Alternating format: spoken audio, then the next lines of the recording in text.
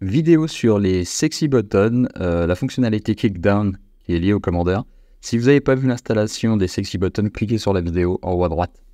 Pour accéder à cette fonctionnalité, il faut cliquer sur Commander. Du coup, vous avez pied au plancher, kickdown en anglais.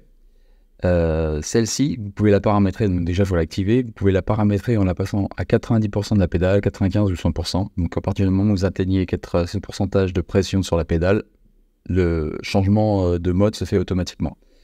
Et après pour la désactivation, soit vous mettez quand vous reprenez, soit quand vous parquez, euh, soit dès que la voiture passe en veille.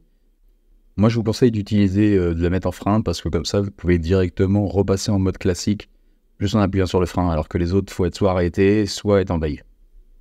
Comment ça marche? Bah Là, je suis en mode confort sur la voiture, donc je suis sur le téléphone. Dès que je vais accélérer fort, je vais passer en mode sport, donc en standard sur, la, sur le téléphone, mais par contre, je reste en confort. C'est pour ça que je dis que c'est utile de pouvoir appuyer sur le frein pour repasser en mode chill sans avoir à s'arrêter ou à être en veille.